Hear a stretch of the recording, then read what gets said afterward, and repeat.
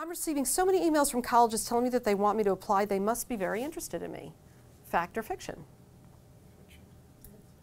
This one is definitely fiction, okay? And I I will tell you, every year I have parents call me or kids call me and say, I just got an email from, you know, X college and they really want me to apply. Maybe I should apply.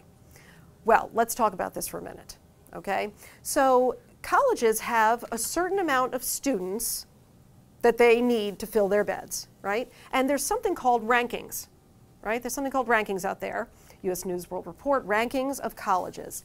And colleges want to come up in the rankings. So what happens is they want more applicants, right? So if you have more applicants but are accepting the same amount of students, your acceptance rate is going to get lower and your rankings will go up. And so it is a game. So I will tell you, these are automated emails. This is not an admissions counselor who's out there sending emails. These are automated and gen automatically generated emails. So that one is absolutely fiction.